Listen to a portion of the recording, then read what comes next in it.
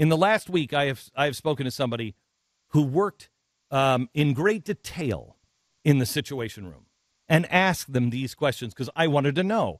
Tell me what it would be like in this situation. Tell me you've been there, you've lived it. Tell me what it is.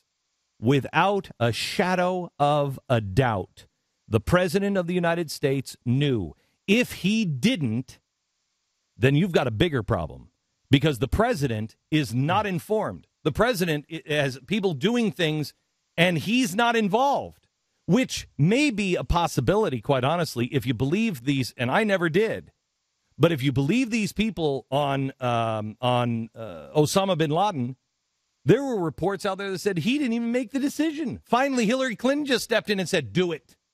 Now, I don't believe that.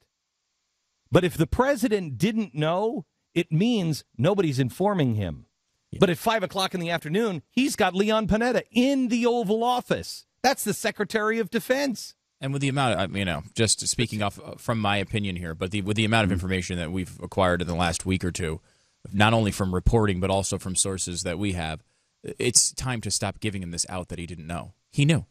Mm-hmm. He knew 100% he knew. It would be impossible chose, for him not to know. They chose not to do anything. Now, you tell me, you tell me, the only one that could have authorized special forces going in is the President of the United States. The President of the United States. But that would require Leon Panetta and the Secretary of State going into the President and saying, Mr. President, Mr. President, people are dying right now. Please, we can go in, launch, launch.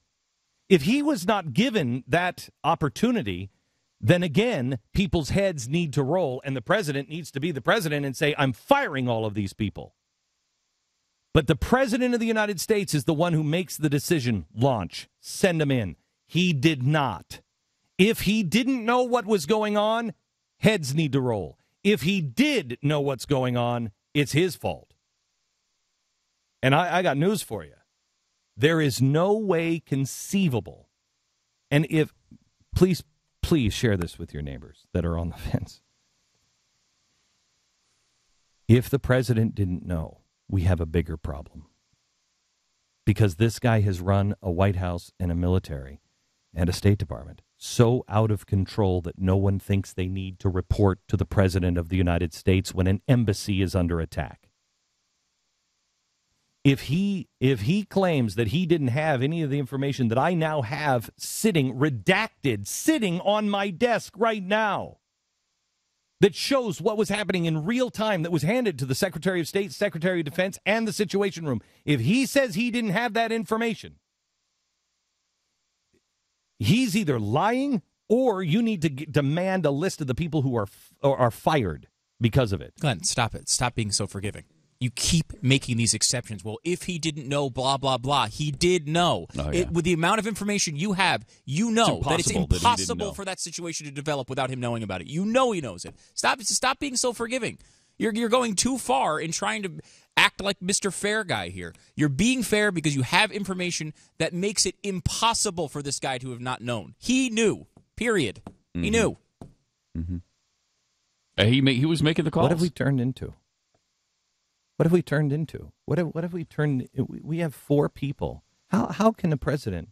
I don't even I don't even understand somebody like this. You have you've hired that ambassador. You've hired him. That's the guy you you chose. You said, Chris Stevens, you go. You go in there. The CIA guys, he didn't know. But the ambassador, he did know. You go in. The guy begs you for weeks, please, please, something's going on. Please, they're targeting me. You don't do anything. Then, when it's targeted, because maybe you're so arrogant, you say, oh, you know what, uh, nothing's going to happen. It's September 11th. I've got it all under control. And then, when something happens and your military is there and you can do something to save the man that you pointed out and said, You go in our name. You go stand there. And then he does nothing. I don't understand it. I don't understand it. That's not America. That's not who we are. That's not the way we treat Americans. This is a voluntary system. This is something that we say, I believe in it. I want to do it. You don't just grab somebody up and, and throw them in a school and make them the ambassador from birth like in communist countries. These are people who are volunteering. And the president is the last, the, the guy who says, we're not going to leave a single person behind. We won't leave our people behind. My gosh. What have we turned into? If we don't turn this corner, America, we will not. We will become a force, a global, terrifying force for evil. It's not just our destruction. We're talking about the destruction of our souls. You can't be this kind of a person or a country. You can't. We didn't want to look at ghost planing and everything else. You're talking about American citizens going in and saying, we, we're trying to do the right thing here. Can you imagine? You imagine being the guy who had the laser pointer.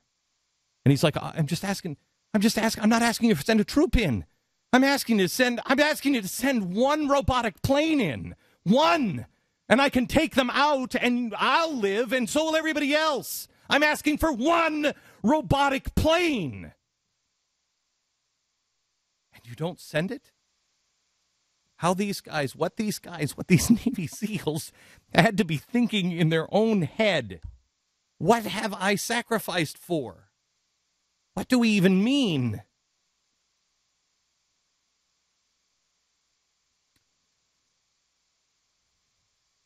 Wow.